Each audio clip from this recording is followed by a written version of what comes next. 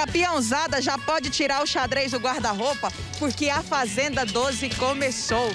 Acabou o mistério. 20 celebridades estão confinadas na fazenda mais vigiada do Brasil. E aí, ficou surpreso com alguma participação?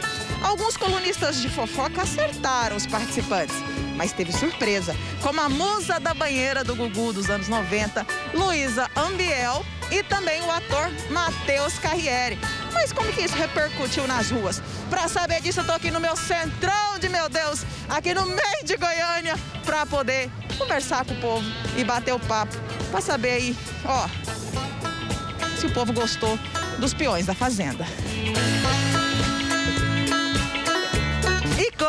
Vai ter churrasco na fazenda, mal posso esperar para as festas começarem. E eu já quero saber, assistiu a estreia, gostou, tá torcendo para quem? Pra Jojo Todinho. Tem que ganhar, hein, Todinho? E ela é maravilhosa, né? Lógico, e só fala a verdade, né? Só Sincera. fala a verdade.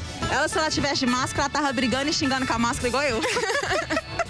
Jojo é sincera. É. Podemos esperar barracos. É. Diz que gosta de dormir, que não gosta de ser contrariada. Vai ser babado. Vai, vai ser trabalho. Gostou dos participantes? Gostei sim, Vai assistir todo dia. todos os dias. Pra quem que é a sua torcida? Pro Biel, Você vai dar uma segunda chance pra ele?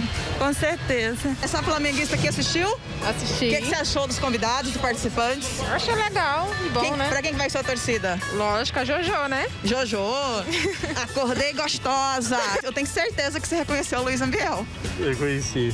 A mulher não pode saber disso, né? E tá bonita, né? Tá. Mas logo na estreia, teve um bordão lá que virou meme na hora. A hora que a Mirella viu a Raíssa, o que, que ela falou?